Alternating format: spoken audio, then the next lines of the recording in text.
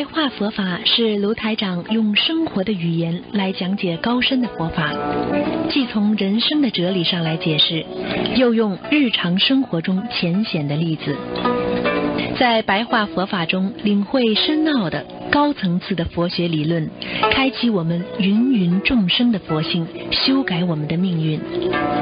请收听卢台长的白话佛法。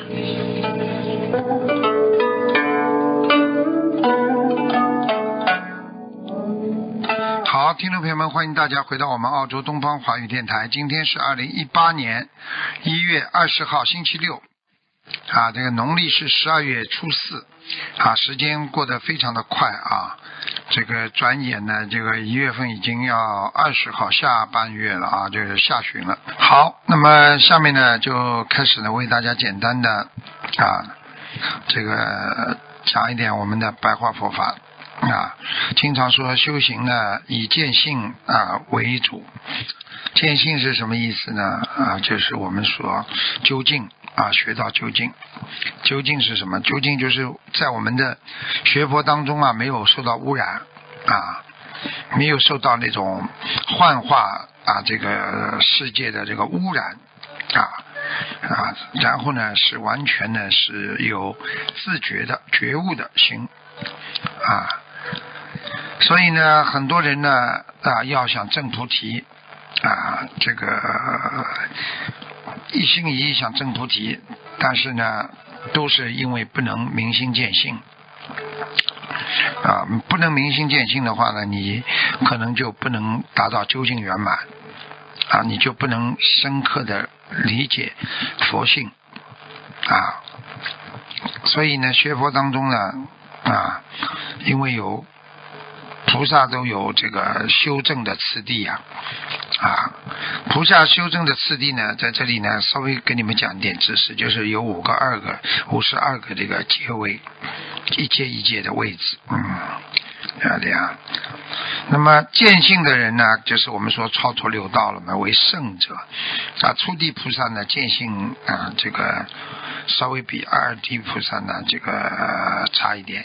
三 D 呢，胜于二 D；四 D 呢，胜于三 D。